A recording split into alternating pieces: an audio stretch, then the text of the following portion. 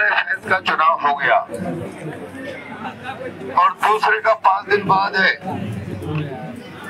सुनिए, मूल बात पर। पहले फ़ेज़ की पोलिंग 50-60 परसेंट पट गई है। समझिए ना बात को। इसलिए हमको चिंता करके 100 प्रतिशत मतदान करना पड़ेगा।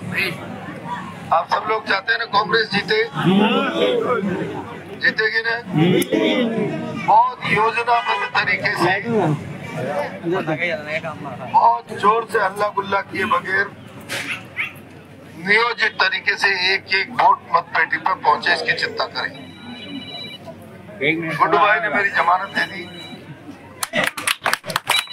गुड्डू भाई की बात खराब नहीं। होने दूँगा ये बात करके चलना गुड्डू भाई जिंदाबाद। जिंदाबाद जिंदाबाद जिंदाबाद देखिए गरम सांसद बनने के बाद सड़क से लेकर सदन तक हाँ। आपके हाँ, हक अधिकार की बात के लिए पूरी ताकत से बोलूँगा पूरी ताकत से लड़ूँगा। जिंदाबाद। जिंदाबाद।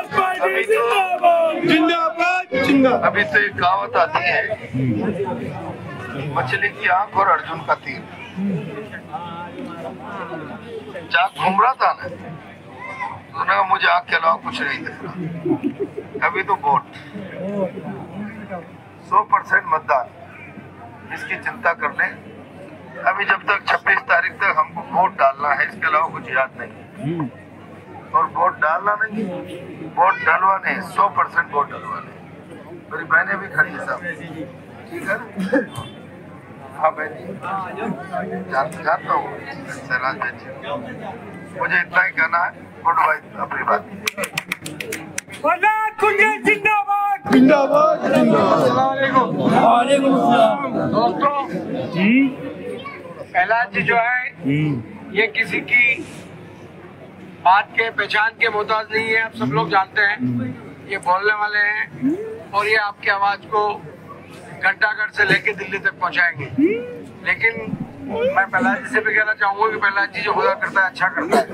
ये वही लोग हैं जिन्होंने आपको विधानसभा नहीं पहुँचने दिया। क्योंकि आपको इनको लोकसभा पहुंचाना था। आप सब लोग हाथ ऊँचा खड़ा करके वादा करो।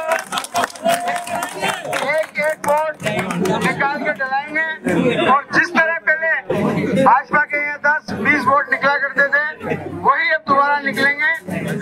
तो हम लोग प्रहलाद जी को संसद पहुंचाएँगे, ये आपकी आवाज़ को बुलंद करेंगे। मैं इनकी गारंटी हर जगह देता हूँ, यहाँ भी देके जा रहा हूँ आपको। आप मुझे पकड़ लेना अगर कहीं कोई कमज़ोरी समझो तो। लेकिन एक एक वोट, और एक एक वोट की लोकतंत्र में कीमत है। आप एक एक वोट वही जितने भी खड़े सब नौजवान है, और सब ताकतवर है अपने आप में। इसलिए एक एक वोट को पोलिंग तक ले जाएँ